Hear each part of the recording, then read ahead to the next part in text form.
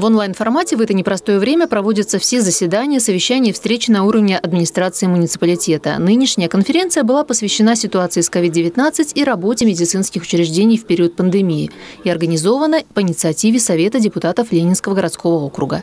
В ней приняли участие глава Ленинского городского округа Алексей Спаский, его заместители, депутаты, а также главный врач ВРКБ Бутай Бутаев и его заместитель Елена Зинатулина. Необходимость проведения сегодняшнего видеосовещание у нас обусловлено тем, что очень много вопросов поступает э, со стороны жителей. Все вопросы мы, поступившие от вас, проработали. Данный список вопросов из 16 пунктов накануне конференции был передан Бутаю Бутаеву, большую часть ответов на которые он дал сам. По первому вопросу, как обстоят дела с обеспечением э, средств защиты сотрудников, да, понятно, что, значит, не раз уже об этом говорил, то, что Э, очень большой расход этих средств. Сейчас такого глобального значит, дефицита у нас нет, э, и провала у нас не было и нет. То есть всем, кому необходимы эти средства, мы выдаем. Бутай Бутаев также озвучил оценку готовности к пандемии стационара и амбулатории округа. Рассказал об укомплектованности штатом, обеспечении медикаментами и оборудованием. ИВЛ дефицит это везде.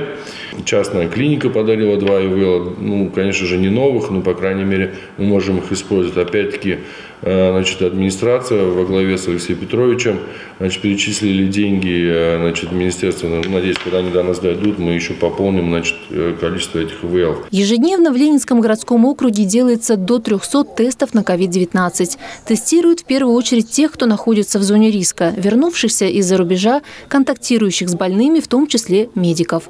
Об этом рассказала заместитель главного врача по поликлинической части Елена Зинатулина. Также она предоставила информацию по временному размещению узких специалистов взрослой поликлиники в детской. Онкология, химиотерапия э, тоже э, значит, будет проводиться там на базе детской поликлиники. Врач-онколог анализы, которые необходимы анализы, назначает на дом, и специалисты выезжают на дом. Далее главный врач ВРКБ ответил на вопросы, которые участники конференции задавали онлайн. Очень много вызовов, и очень много людей хотят, чтобы к ним пришел врач по разным причинам. У кого-то 37, он паникует, у кого-то 39 там, и 9, и он действительно там в панике. А что людям делать или не делать ни в коем случае, самим? Сидим, ждем врача. Максимум, что можно сделать, это сбить температуру с доступными средствами. Мы обязательно придем. Неотложная помощь у нас сейчас работает до 10 вечера.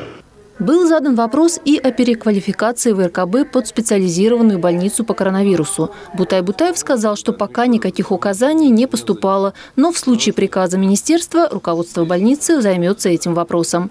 Многие участники конференции передавали пожелания врачам – здоровья, сил, чтобы как можно быстрее выйти победителями из войны с COVID-19. Татьяна Брылова, Максим Козлов, Сергей Ларин, Константин Брылов, Ольга Садовская. Видно ТВ.